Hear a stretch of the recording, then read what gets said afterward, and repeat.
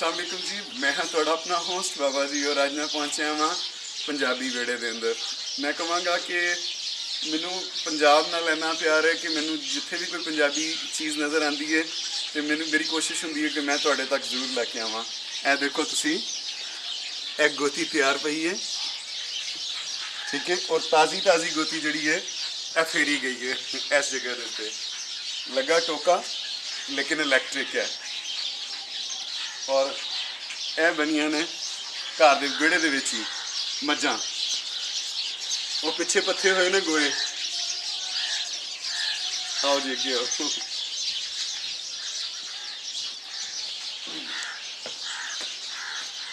ਪੰਜਾਬੀ ਵਿਹੜੇ ਦੀ ਜਦੋਂ ਵੀ ਗੱਲ ਕੀਤੀ ਜਾਂਦੀ ਹੈ ਤੇ ਤਰੇਕਾਂ ਤੂਤ ਜਿਹੜੇ ਨੇ, ਉਹ ਵਿਹੜੇ ਦੇ ਵਿੱਚ ਜਿਹੜੇ ਨੇ ਲਾਏ ਜਾਂਦੇ ਨੇ। ਔਰ ਉਹਦੀ ਖੂਬਸੂਰਤੀ ਨੂੰ ਨਿਖਾਰਨ ਵਾਸਤੇ ਮੈਂ ਕਹਾਂਗਾ ਕਿ ਪੰਜਾਬ ਦੀ ਕਿਸਾਨ ਹੈ ਜਿਹੜੀ ਸਾਡੀ ਰਹਿਤਲ ਜਿਹੜੀ ਹੈ ਉਹ ਪੰਜਾਬ ਦੀ ਹੈ ਉਹ ਦੇਖਣ ਵਾਲੀ ਹੈ ਪੰਜਾਬੀ ਵਿਹੜਾ ਕਿੱਥੋਂ ਪਛਾਣਿਆ ਜਾਂਦਾ ਹੈ ਉਹਦੀਆਂ ਮੈਂ ਨਿਸ਼ਾਨੀਆਂ ਤੁਹਾਨੂੰ ਬਣਾਉਣਾ ਚਾਹੁੰਦਾ ਇਹ ਲੱਗਾ ਬੂਟਾ ਔਰ ਬੂਟੇ ਦੇ ਥੱਲੇ ਲਾਈਏ ਇੱਟਾਂ ਦੀ ਵਾੜ ਦਿੱਤੀ ਹੈ ਇਹ ਹੈ ਪੰਜਾਬੀ ਕਿਚਨ। ਪੰਜਾਬੀ ਕਿਚਨ ਵਿੱਚ ਤੁਸੀਂ ਦੇਖੋ ਕਿੰਨੇ ਪਿਆਰੇ ਫੁੱਲ ਬੂਟੇ ਪਾਏ ਨੇ। ਔਰ ਜਾਲੀ ਦੇ ਉੱਤੇ ਵੀ ਜਿਹੜਾ ਲਾਲ, ਪੀਲੇ, ਖੱਟੇ ਰੰਗ ਦੇ ਜਿਹੜੇ ਨੇ ਉਹਨਾਂ ਨੂੰ ਪੇਂਟ ਕਰਕੇ ਉਹਨਾਂ ਨੂੰ ਸਜਾਇਆ ਜਾਂਦਾ ਮੈਨੂੰ ਸਭ ਤੋਂ ਜਿਹੜੀ ਮਜ਼ੇਦਾਰ ਚੀਜ਼ ਲੱਗਦੀ ਹੈ ਉਹ ਲੱਗਦੀ ਹੈ ਇਹ ਗੋਤੀ। ਇਹ ਜਿਹੜੀ ਗੋਤੀ ਜਿਹੜੀ ਫੇਰੀ ਜਾਂਦੀ ਹੈ ਉਹ ਤੁਸੀਂ ਇਹ ਦੇਖੋ, ਗੋਤੀ ਦਾ ਡਿਜ਼ਾਈਨ ਕਿੰਨਾ ਖੂਬਸੂਰਤ ਲੱਗਦਾ ਹੈ। ਜਦੋਂ ਤੁਸੀਂ ਗੋਤੀ ਫੇਰਨ ਲਈ ਕਿਸੇ ਜਗ੍ਹਾ ਦੇ ਉੱਤੇ ਗੋਤੀ ਫੇਰਦੇ ਹੋ ਤੇ ਇਸ ਤਰ੍ਹਾਂ ਇਸ ਕਰਕੇ ਉਹਦੇ ਰਾਉਂਡਸ ਜਿਹੜੇ ਬਣਦੇ ਨੇ, ਮੈਨੂੰ ਇਹ ਪੰਜਾਬੀ ਵਿਹੜੇ ਦੇ ਵਿੱਚ ਬਹੁਤ ਪਿਆਰੇ ਲੱਗਦੇ ਨੇ। ਇਹ ਹੈ ਜੀ ਲੋ ਔਰ ਨਾਲ ਹੀ ਸਾਡਾ ਚੁੱਲਾ। ਇਹ ਜਿਹੜਾ ਹੈ, ਪੰਜਾਬੀ ਚੁੱਲਾ। ਨਾਲ ਹੀ ਪਏ ਹੋਏ ਟਕਲੇ ਗੋਏ ਚਿਮਟਾ, ਫੁਕਣੀ। ਔਰ ਇਹ ਦੇਖੋ ਤੁਸੀਂ ਜਿਹੜੀ ਗੱਲ ਮੈਂ ਕਹਿ ਰਿਹਾ ਸੀ ਕਿ ਉਹ ਜਿਹੜੀ ਖੂਬਸੂਰਤੀ ਹੈ, ਪੰਜਾਬੀ। ਇਹ ਮਾਂ ਜੀ ਨੇ ਜਿਨ੍ਹਾਂ ਦਾ ਘਰ ਹੈ, ਜਿਨ੍ਹਾਂ ਨੇ ਇਹ ਘਰ ਸੋਹਣਾ ਸਜਾਇਆ ਹੈ, ਦੇਖੋ। ਫੁਲਕਾਰੀਆਂ ਪਾ ਪਾ ਕੇ ਚਾਚਾ ਰਮਜ਼ਾਨ ਜੀ ਨੇ ਇਹਨਾਂ ਦਾ ਘਰ ਹੈ। ਇਹਨਾਂ ਨੇ ਆਪਣੇ ਬੇਟੇ ਦੀ ਕੀਤੀ ਸ਼ਾਦੀ। ਇਸ ਕਰਕੇ ਦੇਖੋ ਤੁਸੀਂ ਕਿੰਨੀਆਂ ਸੋਹਣੀਆਂ ਜਿਹੜੀਆਂ ਨੇ ਫੁਲਕਾਰੀਆਂ ਉਹ ਘਰ ਦੇ ਉੱਤੇ ਪਾਈਆਂ ਹੋਈਆਂ ਨੇ।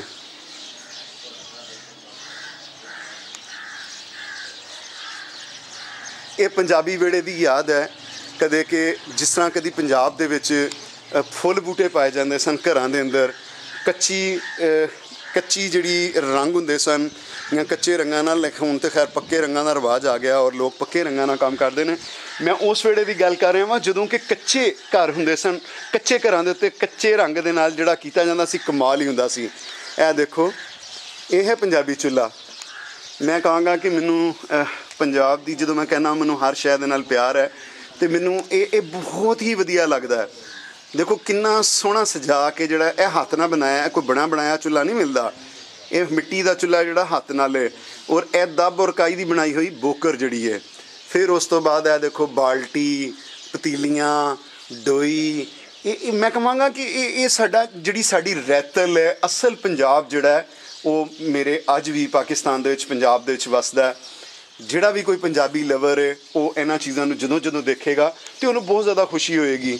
ਜਿਸ ਤਰ੍ਹਾਂ ਮੈਂ ਕਿਹਾ ਸੀ ਕਿ ਘਰ ਦਾ ਵਿਹੜਾ ਸ਼ੁਰੂ ਹੁੰਦੇ ਹੀ ਆਪਣੇ ਘਰ ਦਾ ਲਵੇਰਾ ਮੱਝ ਜਿਹੜੀ ਹੈ, ਫਿਰ ਉਸ ਤੋਂ ਬਾਅਦ ਗੋਏ ਔਰ ਗੋਤੀ ਦਾ ਕਨਸੈਪਟ ਜਿਹੜਾ ਉਹ ਸੇਮ ਅੱਜ ਵੀ ਸਾਡੇ ਵੈਸਟ ਪੰਜਾਬ ਦੇ ਅੰਦਰ ਜਿਹੜਾ ਉਹ ਸਾਰਾ ਕਲਚਰ ਮੌਜੂਦ ਹੈ।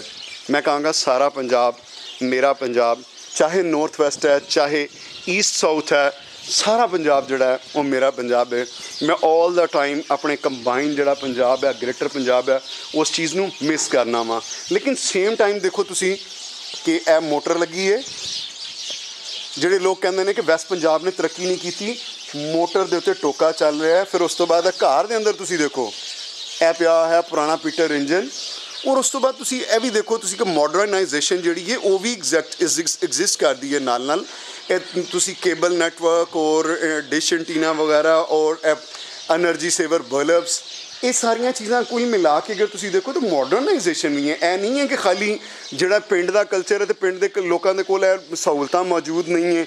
ਲੇਕਿਨ ਮੈਂ ਕਹਾਂਗਾ ਕਿ ਆਪਣੀ ਪੰਜਾਬ ਦੀ ਜਿਹੜੀ ਰਹਿਤ ਬਹਿਤ ਹੈ, ਜਿਹੜੀ ਰੇਤਲ ਹੈ ਉਹ ਅਸਲ ਚੀਜ਼ ਹੈ ਵੇ ਪੰਜਾਬ ਦੀ ਕਿ ਜਿੰਨਾ ਮਰਜ਼ੀ ਮਾਡਰਨ ਹੋ ਜਾਓ, ਲੇਕਿਨ ਤੁਹਾਡੇ ਅੰਦਰ ਪੰਜਾਬ ਔਰ ਪੰਜਾਬੀ ਜਿਹੜੀ ਹੈ, ਕੁੱਟ-ਕੁੱਟ ਕੇ ਭਰੀ ਹੋਣੀ ਚਾਹੀਦੀ ਹੈ। ਸਾਡੀ ਪੰਜਾਬੀਆਂ ਦੀ ਪਹਿਚਾਨ ਹੀ ਇਹੀ ਹੈ, ਸ਼ਾਨ ਵੀ ਇਹੀ ਹੈ ਕਿ ਅਸੀਂ ਜਿੱਥੇ ਜਾਂਦੇ ਆ ਸਾਡੀ ਆਪਣੀ ਹੀ ਦੂਰੋਂ ਪਹਿਚਾਨ ਹੁੰਦੀ ਹੈ। ਇਹ ਉਹ ਡੰਗਰਾਂ ਵਾਲਾ ਅੰਦਰ ਹੈ ਜਾਂ ਜਿਹਨੂੰ ਪਸਾਰ ਕਿਹਾ ਜਾਂਦਾ ਜਿੱਥੇ ਸ਼ਾਮ ਨੂੰ ਜਾਨਵਰ ਬੰਨੇ ਜਾਂਦੇ ਨੇ।